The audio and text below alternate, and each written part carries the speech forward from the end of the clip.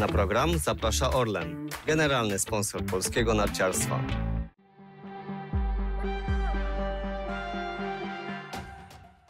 Dalekich lotów polskim skoczkom życzy firma Blachotrapez, dystrybutor systemów fotowoltaicznych Revolt Energy. Razem sięgamy nieba!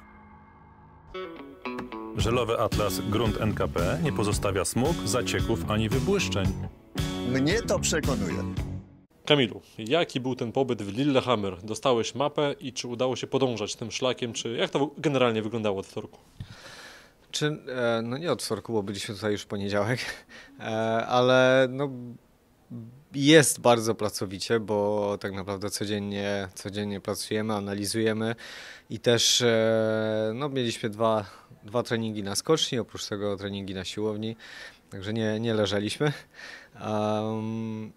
No, mogę powiedzieć, że jest jakiś progres, bo nawet dzisiaj było widoczne. No, co prawda po ruce to, to nie była wielka sztuka, żeby ten, ten progres zrobić, ale, e, ale generalnie pomysł uważam, że był dobry, bo e, tą pozycję potrzebuję, żeby ona była niżej i, i bardziej aktywna. No, dzisiaj, dzisiaj to trochę nie funkcjonowało. W środę funkcjonowało fajnie, e, skakało mi się w miarę dobrze.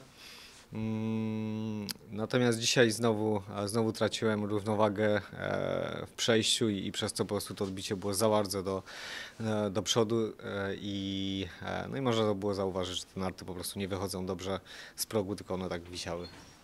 Główna część roboty zależy od każdego z nas, ale środowisko pracy też jest istotne. Czy kiedy ma się problemy, kiedy zmaga się z techniką, to mała skocznia, klasyczne tory, to coś, co pomaga dodatkowo na takie stabilne warunki? Mm, ogólnie, ogólnie tutaj warunki są dobre. No, nie, nie chcę mówić, czy, czy mała skocznia bardziej pomaga, czy, czy takie tory bardziej pomagają. Tak naprawdę no, no to, to jest e, drugorzędne znaczenie. No, ważne było dla nas, żeby, że mieliśmy po prostu możliwość e, poskakania e, na spokojnie, w bardzo dobrych warunkach i skocznia była w końcu bardzo dobrze przygotowana.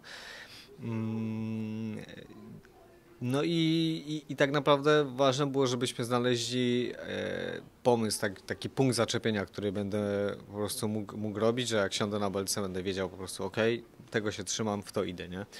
E, no dzisiaj, dzisiaj nie wiem, właściwie to jeszcze nie wiem czemu, nie, nie rozkminiłem tego cały czas, e, próbuję sobie znaleźć w głowie, bo miałem wszystkie, e, wszystkie mm, potrzebne rzeczy do tego, żeby, żeby wykonać zadanie, a nie potrafiłem temu sprostać. No trochę, trochę jestem właśnie przez to zły na siebie.